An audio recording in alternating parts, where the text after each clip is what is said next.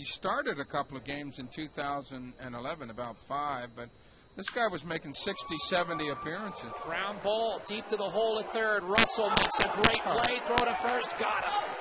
Oh, Wow. Well, you want to know when Addison Russell opens up some eyes and uh, just rewind the tape and look at that one as Addison Russell went deep to the hole, dove for it, and makes a fantastic throw to get Miguel Rojas, who can run.